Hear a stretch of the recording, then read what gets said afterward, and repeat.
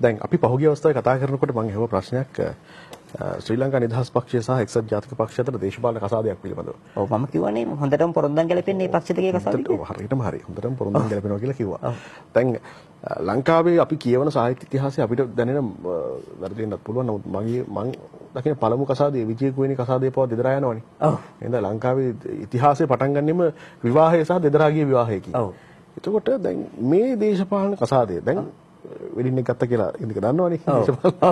දැන් වැරදිලාවත් දික්කසාදයක හේතු තියෙනවද මේකේ? දික්කසාදයක් වෙයි. මොකද දෑවැදි ප්‍රශ්නේ එනවනේ ඉස්සර දික්කසාද ප්‍රශ්නේ කසාද වදින කලින් දෑවැදි ප්‍රශ්නේ ඉන්නේ. නෑ නෑ. දැන් මේ ප්‍රති දැන් මේ මේ පක්ෂ දෙක එකතු වෙන්නේ ඇත්තටම මේ ඇත්තම කතාව රට ගැන හිතලා නෙමෙයි ඒක පැහැදිලිනේ. ඒතර මේ පක්ෂ දෙක එකතු වෙන්නේ ඇත්තටම මේ මේ පක්ෂ දෙකම හිතනවා මේ තුල ඔවුන්ට මේ සොයාක්ම මේ මේ අතරේ ඔවුන් ස්වාධීන වර්ධනය වෙන සහ එක්සත් ජාතික පක්ෂය දෙනවා ඔවුන්ගේ ආණ්ඩුවක් දිගට පවත්වාගෙන යන්න ශ්‍රී ලංකා නිදහස් පක්ෂය දෙනවා කොහොම හරි ඊළඟ වකවානුව වෙද්දී ආණ්ඩුවක් හදන්න. එතකොට අනිවාර්යයෙන්ම 2017 පහුවෙද්දී බලන් ඉන්නකො. ඒ කියන්නේ දැන් මේ හොඳට මතක තියාගන්න අපි ආදරණීය ප්‍රේක්ෂකයන් අපි ඉල්ලීමක් කරන්නේ මේ මෙතෙන් එක්සත් ජාතික පාක්ෂිකයොත් වෙනවා ශ්‍රී ලංකා නිදහස් පාක්ෂිකයොත් වෙනවා ජවිපේ දේශපාලන චරිතත් වෙනවා මේ කතා කරන්නේ දේශපාලන චරිතයක්. එක නෙමෙයි ස්වාධීන මතවාදයක් ඔහුගේ මතවාදය යම් දේශපාලන පක්ෂයට යම් ප්‍රමාණයට සමීප වෙන්න පුළුවන් ඔහු දේශපාලනයත් එක්ක ටිකක් වැඩිපුර කතා කරපු ජෝතිර්වේදියෙක් නිසායි දේශපාලන වැඩියෙන් කතා කරන්නේ.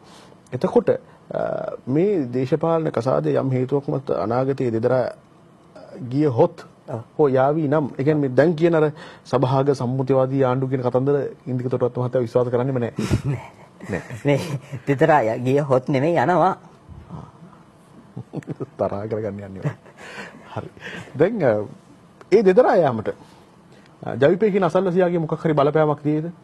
නෑ අසල්වසියා බලපෑමක් වෙන්න ඕනේ නෑ මොකද මේ කසාදයකට හොඳටම පොරොන්දම් ගැලපුණාට කසාදෙන් පස්සේ පවත්වගෙන යෑමේ ගැලපීම ඉතාම අඩුයි මේ පක්ෂ දෙකේ.